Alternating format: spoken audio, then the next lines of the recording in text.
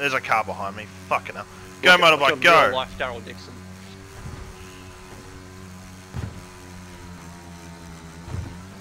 Oh god. How do motorbikes go through going through fences? Do you guys know?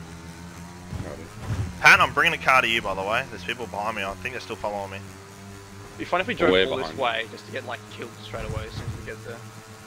It wouldn't surprise me. Dude, this thing's going 140. 150. Oh god, this jump's gonna be sick. Pat, look out! What the no! Jesus. that was worth it.